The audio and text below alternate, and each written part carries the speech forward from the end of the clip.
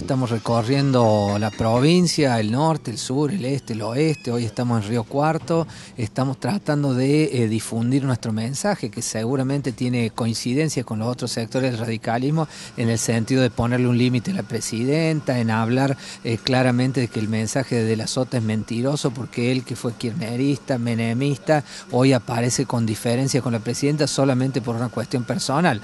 Pero aparte le estamos dando eh, la posibilidad a todos los cordobeses que voten una lista de renovación, de una clara, eh, una clara manifestación de la renovación de la política que se pide eh, cada vez que recorremos la provincia. Sí, hay tres eh, listas eh, para las pasos del radicalismo. ¿Por qué no hubo un consenso con las otras dos?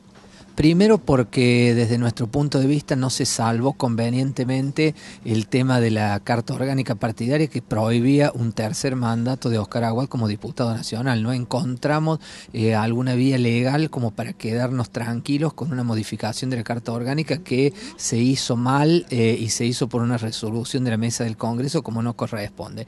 Y después eh, estas ideas de renovación, de apertura del partido, de que las candidaturas no se cristalicen siempre en cuatro o cinco dirigentes, por más importantes que ellos sean, eh, hizo que no que nosotros hiciéramos primar ese valor eh, de tratar de competir para renovar la política con otras dos listas que eh, encabezan dos muy prestigiosos dirigentes, pero que no marcan la renovación que la gente hoy está pidiendo. ¿Causa algún tipo de ruptura esto? No, al contrario, es más, recién citaba un caso, el día sábado hemos estado con Julia Arballo en Jovita, en un acto muy importante, eh, festejando el Día del Amigo con otros correligionarios del departamento, de este departamento del sur, estuvo Gerardo Bello, que estuvo el Chicharra Bella, compartimos, el, el, hablamos los tres, compartimos el acto y allí hicimos un compromiso público de que el 11 de agosto, sea cual fuera el resultado, todos juntos vamos a estar tra trabajando para ponerle un límite a la presidenta de la Nación el 27 de octubre. Usted hablaba recién acerca de una